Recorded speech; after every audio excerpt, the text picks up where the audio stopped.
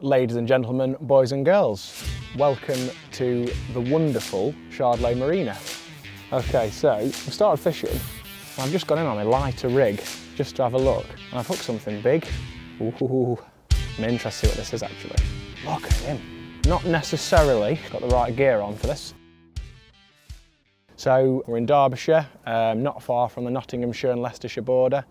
This is a marina that's fed by the River Trent and it's a venue that I've not fished for quite a long time. I used to fish it quite a bit actually, I used to come down pleasure fishing. Quite an interesting venue, it's quite deep, mixed uh, fishery, so today's video is going to be really about how I'm going to approach a venue I've not been, been to for a while and I don't know how it's fishing at the moment or, or really what we're going to catch. So it's just a case of uh, trying to work, the, work that out and I'll uh, hopefully show you a few tips and tricks on how to catch a few fish from these sort of venues. Right, so I'm going to plumb up my peg now. So obviously I've got myself comfortable in my water, in the water I should say. Got everything around me that I need. So obviously we need to plumb up and plumb the depth and find out where I want to fish. So stick a plummet on. Now, obviously I have fished this venue before quite a while ago and I know it's roughly like eight, nine feet deep. So I've put a rig on. We'll start plumbing from about the 11 metre joint. Now I do know this venue gets a little bit deeper the further out you go.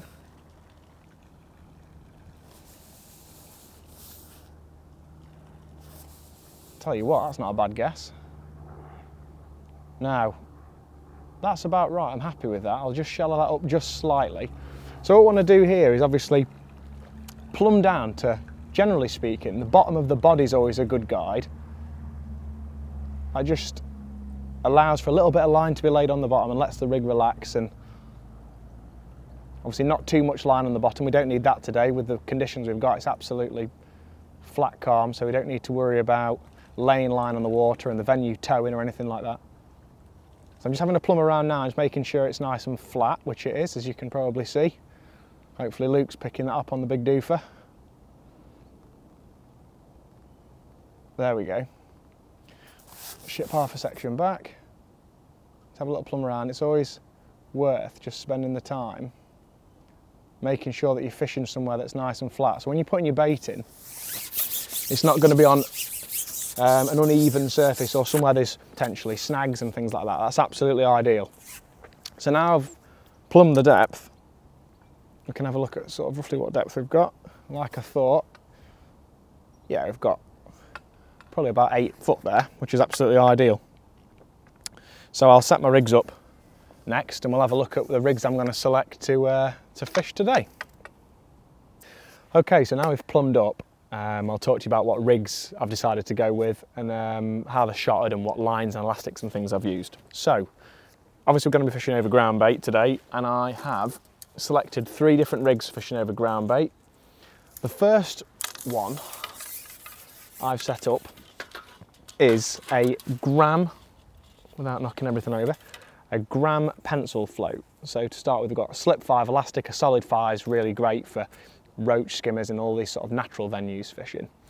Um, I've got a gram pencil float with the conditions being absolutely spot on like they are today. I thought this would be absolutely ideal with a short lash, lowering it straight over the top of the ground bait, getting, getting a nice quick bite, less resistance by the float because of its slim shape, and that way we should be able to hit plenty of bites. So we've got a 012 hybrid mono mainline. I've got a bulk of number eight shot with a couple of little trimmers on there just to dot the bristle down. Then I've got number nines tapered down. They're about four inches apart. And they're tapered down to a six inch hook length of 010 and a size 18 uh, sphere match.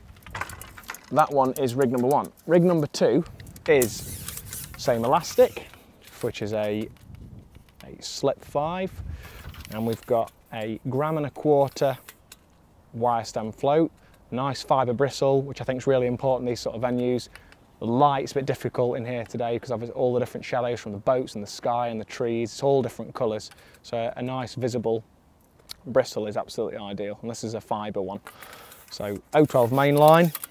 We have got a shot bulk. Again, this is a shot bulk of number nines. That's about 18 inches to, from the hook. And I've got a taper there of number nines down to a six inch hook length. So that's going to be probably my main rig for catching over the top of ground bait.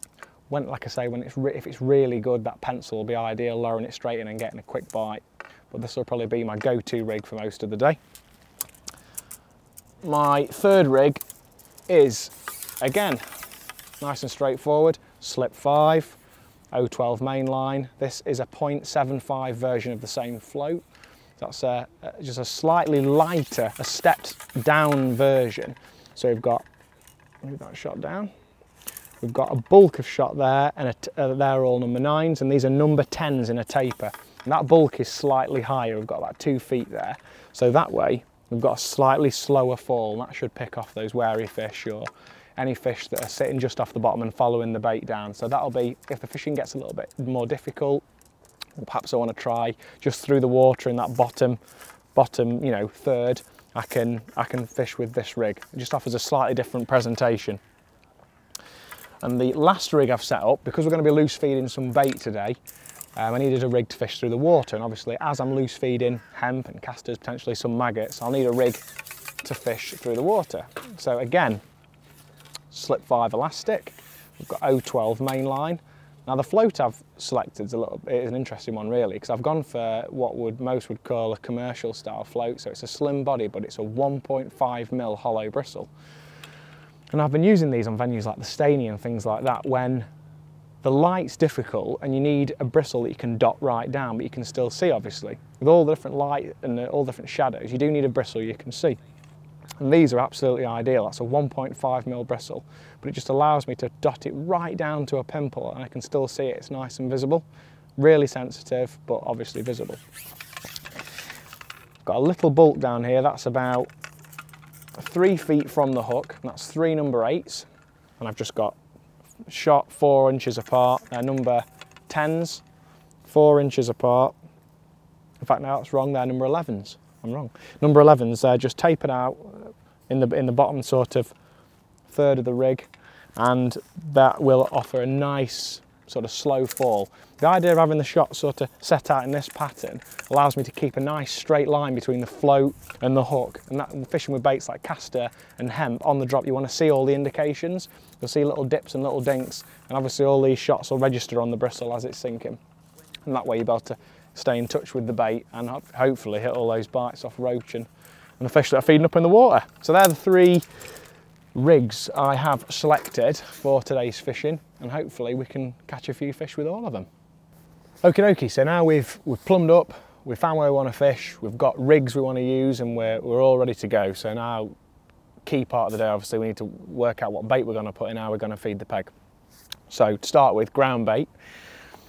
This is a mixed up last night, um, which is a little bit of Sonubaits Got to knock everything over. Sonubaits Black Roach and Sonubaits Black River.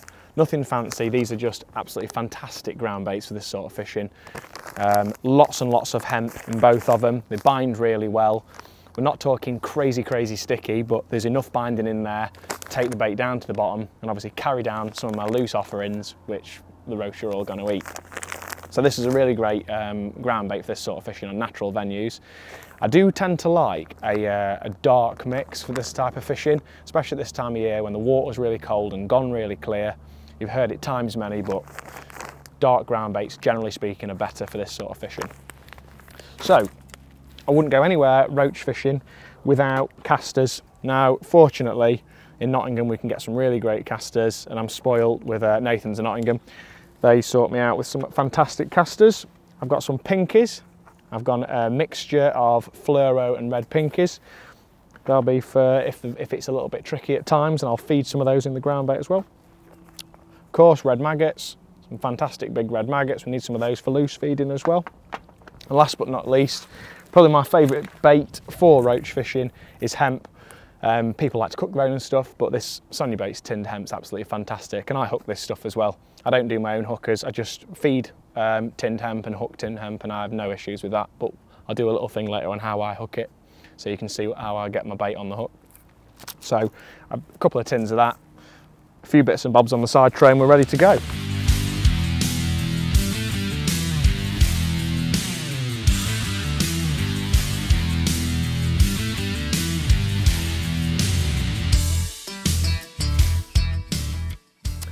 Okay, so we've obviously selected where we're going to fish and we've got our rigs ready for what we're going to do today. So now it's the key part of actually putting the bait in. So with the ground bait I was showing you earlier, what I've done, I've made up five balls. Three slightly bigger ones. Now these have got next to no loose feed in. There's a few grains of hemp and the odd caster. As you can see looking around them, there's not loads of bait in there. I'm going to ball those in, that's going to create an area for us to fish on. Now, I think it's really important on venues like this and natural venues, you create a bit of an area to fish on, rather than, put, you know, like on commercial venues when you'd potentially be fishing small amounts of bait in really, really tight areas and being very, very accurate, fishing over the top of pellets and things like that. I think when you're trying to catch roach and skimmers in venues like this, I think it's important to create a bit of an area. So that's going to be the three balls I'm going to chuck in. It's going to create a bit of a bed for the fish to home in on. And then I'm going to cup in two slightly richer balls. Now these have got quite a lot of bait in. There's a little tiny bit of chopped worm, there's some casters, there's some hemp, there's some maggots, there's some pinkies. So these slightly smaller balls are going to be the richer balls with all the bait in that are going to sort of concentrate the fish somewhat in the centre of the, this sort of area of bed of feed I've created and that way they should be easier to catch. But I think the fish do like to sit over a bit of a bed of bait and that way with a bigger area uh, you know, this should be relatively easy to catch. I don't want them all right on top of each other and really, really accurately. I think, I think that's when you get problems with sort of missed bites. I think you create a bit of a bed and concentrate them in the centre. That way you can, you can hopefully catch a few fish. So I'm going to cup in one of my rich balls and then use my pot as a marker. That's going to be the method for the day. So in the pot, one of the richer balls. I'm to ship that out.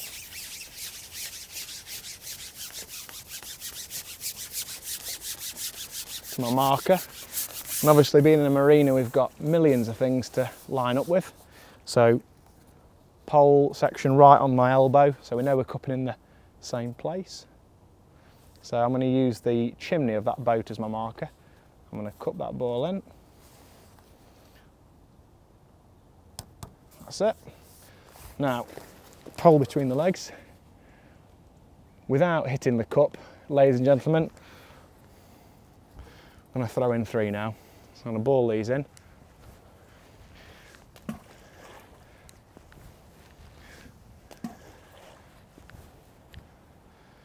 There we go. Created a bit of a, a better feed and now what I'm to do is cup in that last ball right on my marker that's the one, the second rich ball, and that way we've got three, three balls creating that bed of uh, bait, and those two richer balls to hopefully concentrate the fish.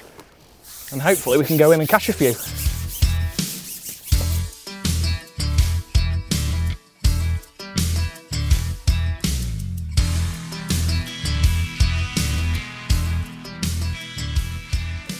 Okay, so we started fishing and as if by magic they knew the cameras was here I've just gone in on a lighter rig just to have a look. And I've hooked something big. So naturally Luke's switched the camera on, which has added loads of pressure. Now, there's an 010 hook length, an 18 sphere match, so it's not, it's not going to be,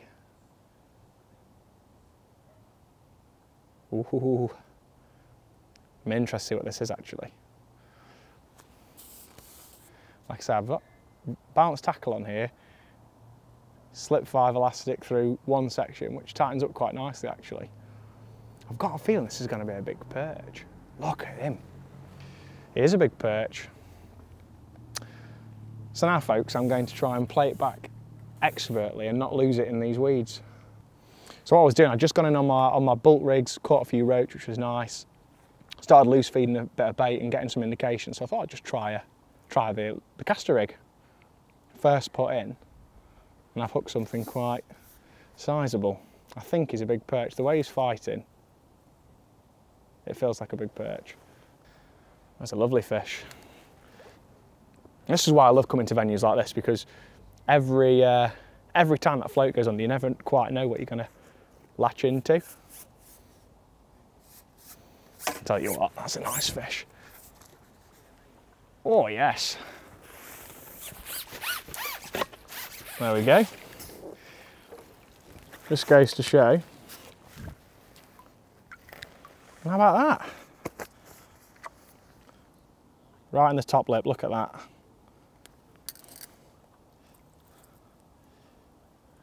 It's a beautiful fish. Lovely. Sign of things to come, hopefully.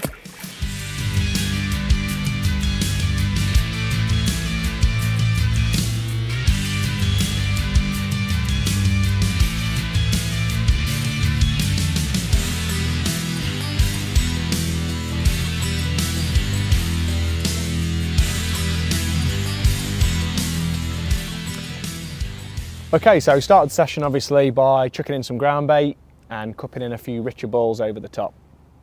I've been loose feeding castor and, and, uh, and hemp over the top of my main line.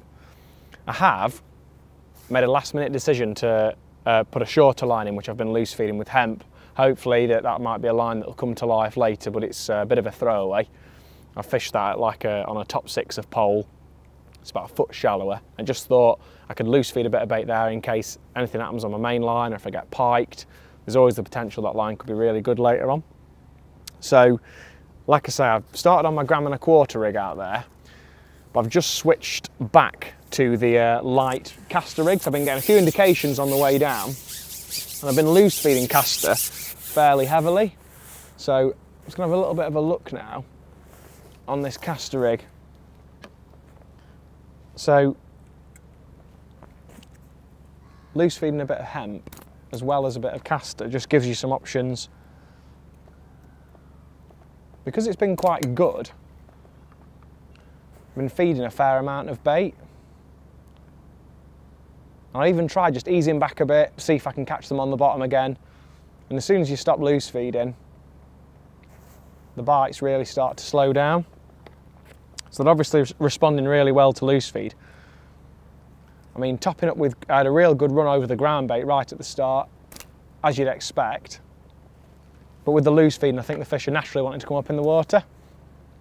So like I said, I've gone back onto the light rig just to see if we can uh, catch a few of the better stamp fish.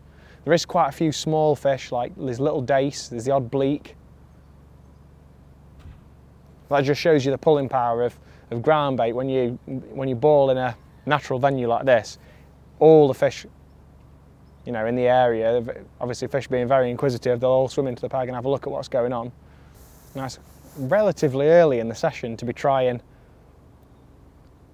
to catch on casters over the top, but I just feel like there's a few better stamp fish knocking about.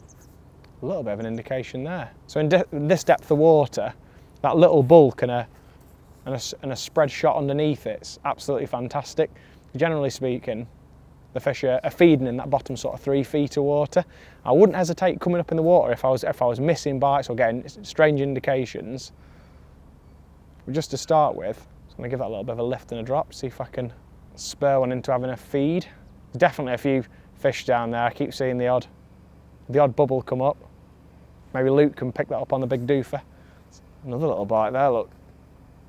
It's going to put some new bait on. I think that's just shelled me. So, obviously this early in the session, caster, obviously a great bait to catch on. It generally catches a slightly bigger fish. I had that big perch on a caster. I'm not completely burying the hook or anything at the moment. I don't feel like it's there's any need for that. We're not quite at the faffing stage yet. It's going all right. So it's case of just laying that rig out nice and flat, keeping everything nice and tight, loose feed a bit of bait. Now keeping in touch with the float just so I can read bites on the way down. Obviously with loose feeding bait, it's trying to find out what depth the fish are feeding in and you can adjust your shot in and your rig to, to suit.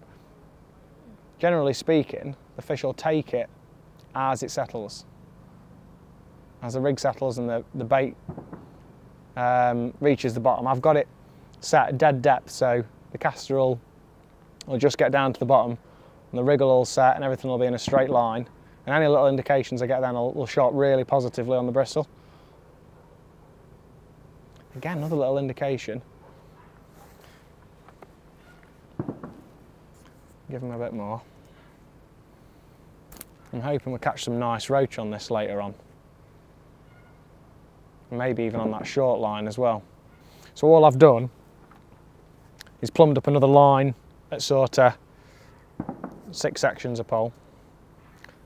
I can just feed with a catapult, keep everything nice and tight, and that way can have a look at it, have a look on that line in a bit. Hopefully, there'll be a few stamp fish waiting for us.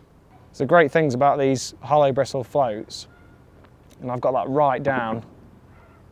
With a little bit of sunlight on the water, it really shines bright, so you can see every little indication. It's great.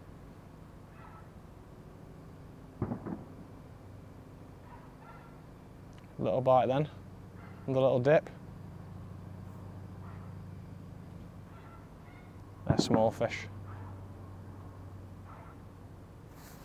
There we go, it's proper bite.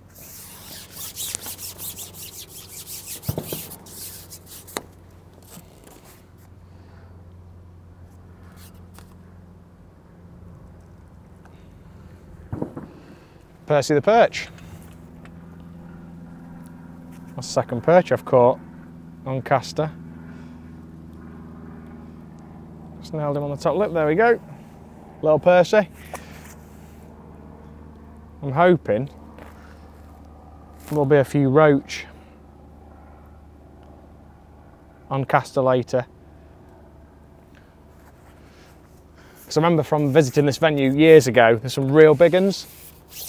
Hopefully feeding baits like castor and hemp, later in the session we'll be able to catch catch a few bigger ones. Keep feeding that short line. So what I'll do, I'll try and get catching a few more fish and get a few bites, let the session um, progress a bit, and I'll let you know what I'm what I'm doing with my feeding and how I'm catching.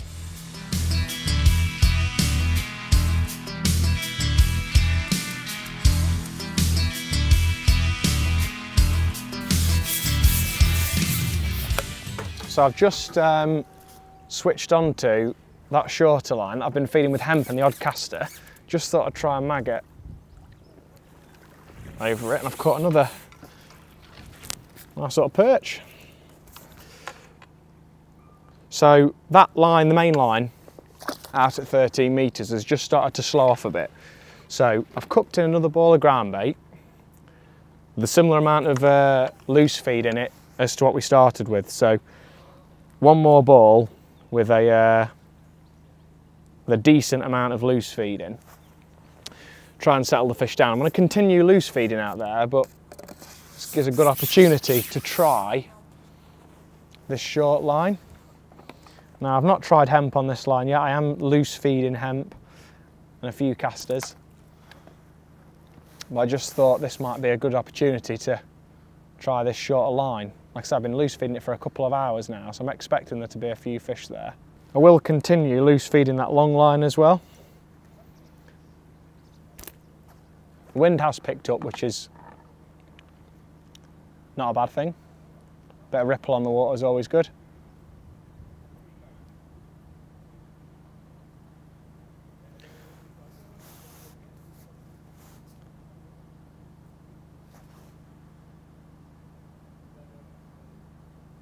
So I've looked at another nice fish here. Single maggot over that short line. Now, it's behaving like a big perch. Not necessarily got the right gear on for this. Yep, that's a, I think it is a big perch where it's just tearing about.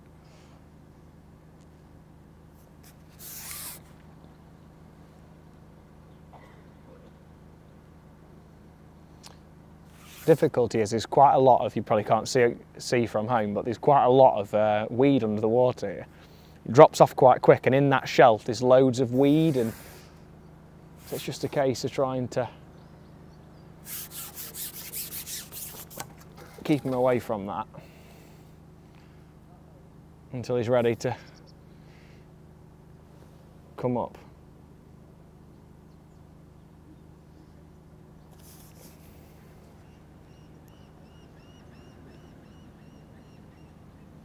Feels like a nice fish.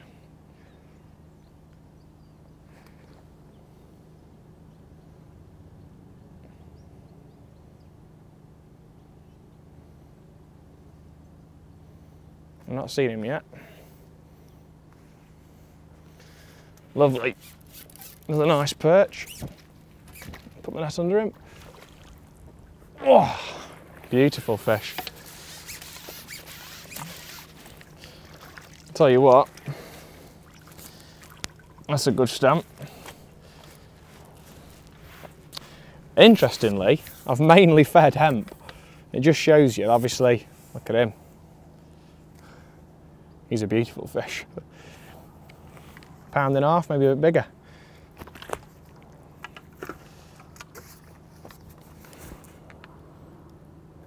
I only just nicked him. Lovely. So, it just shows you obviously with keeping another swim going, just gives you another option, somewhere else to go.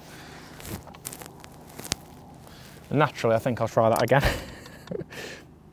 so, I've loose fed mainly, mainly hemp, odd caster. I'm just fishing a red maggot on the hook. If I'm feeding hemp and things like that, I do generally like to try maggot first, just to see if the fish are there. And then if, there, if, there's, if there's roach there, obviously they'll take a maggot and you can always try hemp, but I don't like to, there we go.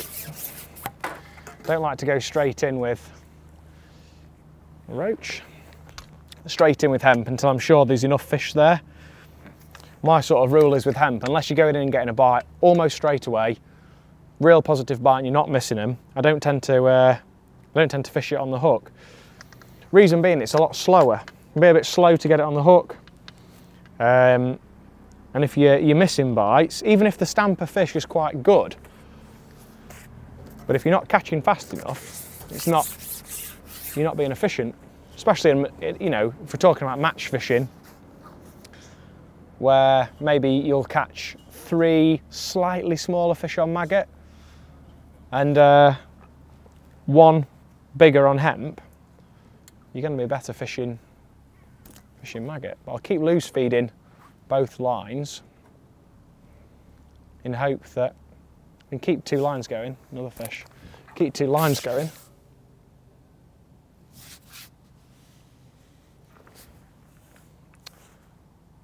weeded me up that fish then. So what I'm going to do, I'm going to have a little play at this line now and see if I can sort this inside line out. Maybe catch a few more fish on it and I'll let you know how I'm getting on.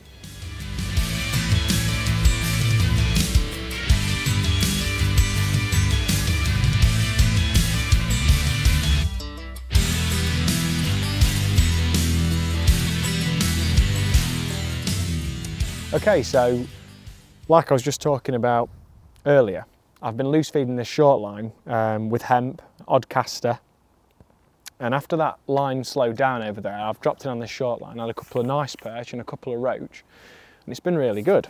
Now, last chuck I had another perch that's probably about a pound on single maggot over the top of um, my loose fed hemp and caster.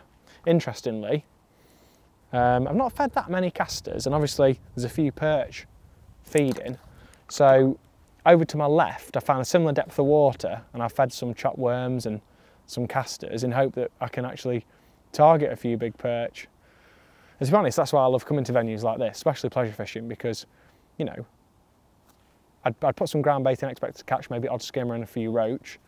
And I've caught some roach, I haven't caught a skimmer, and I've fed hemp quite heavily here, expecting to catch roach really well on hemp. I haven't had a single bite on it, but what I have got is big perch. So obviously, you have to be ready to change things up. I think the key, there we go. I think the key is being able to change when you need to. And don't be too set, you have another perch. And don't be too set in trying to do what you want what you want to do and and go where the day takes you. So what I'm going to do is keep fishing this line for a bit. I've started feeding a few more casters on this, now I know there's so many perch feeding. Um, and I'll give that line over there a go and see if we can catch a big one. So maybe on a full dendy or something. So uh, yeah, I'll, what I'll do, I'll carry on fishing and I'll let you know how it pans out when I go over on that, when I have my first look over there on that other line, get the camera back on and see if we can uh, see if we can get an action shot of how that pans out.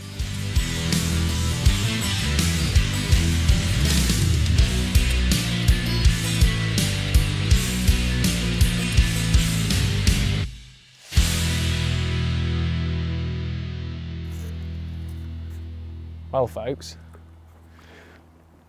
I talked about going on another line and I put some bait in a bit further out I've not even had to have a look at it to be honest. Fishing's been really good on this line, been loose feeding casters, actually loose fed a few maggots, I've been catching perch and roach. It's been, it's been one a chuck to be fair, there's been loads and loads of fish feeding, it just shows that um, obviously loose feeding bait short on that separate line has been uh, so productive today I've continued loose feeding on my long line and in all fairness that's not been that good. I did go in and catch a half decent roach and a pike took it almost straight away which probably explains why that line dropped off a cliff all of a sudden. And I've continued to keep feeding it and it's not been, um, it's never really come back to what it was. So I've just concentrated on this short line. It's been absolutely fantastic to be fair. I've had a really, really great day's fishing on a venue like this, so close to home. I know it's not a match fishing venue, but it's great to come out and I've even managed to, I've even managed to catch one in the edge whilst I'm just finishing off. But it's been absolutely fantastic and like I say, fish a venue like this so close to home, it's absolutely brilliant. And not match fishing makes a change and it's nice just to come and work a few things out and time on the banks, you know, it's absolutely great and it's something I love to be doing all the time if I can. Just work gets in the way. Um, so yeah, I've had a really great day's fishing and you know, if you ever get a chance, an opportunity to come down to Shardlow Marina, it's day ticket in the site office. And it's absolutely fantastic, a gorgeous venue. Loads and loads of fish of all different sizes, so well worth a visit.